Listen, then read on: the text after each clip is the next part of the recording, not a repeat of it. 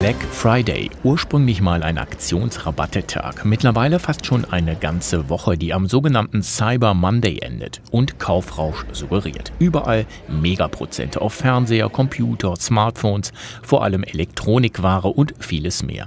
Besonders Online-Händler setzen auf die Black Friday Magie. Die Aktionstage Black Friday sind entscheidend für den Handel. Es wird mehr Geld ähm, ausgegeben und es ist mittlerweile ein wichtiger äh, Zeitpunkt, um das Weihnachtsgeschäft dann auch vorzubereiten. Das werken wir dieses Jahr äh, umso mehr. Äh, es wird weiterhin verstärkt online gekauft. Mit 4,9 Milliarden Euro Umsatz rechnet der Handelsverband Deutschland am Black Friday und Cyber Monday. Das wären 27 Prozent mehr als im Vorjahr. Ob ein Schnäppchen wirklich ein Schnäppchen ist, darüber sollte sich jeder im Vorfeld informieren. Mit Preiskompass und auf Vergleichsportalen raten Verbraucherschützer.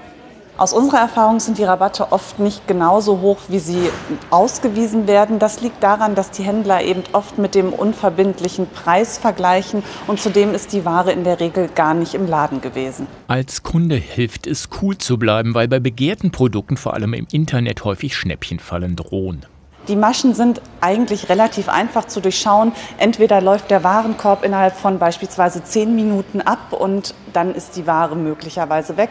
Oder mir wird suggeriert, es sind vielleicht nur noch zwei oder drei Stück da, deswegen muss ich jetzt schnell zugreifen. Lieber nicht. Fachleute raten, nicht unter Druck setzen lassen beim Rabatte shoppen und vor allem nie mit Vorkasse bezahlen.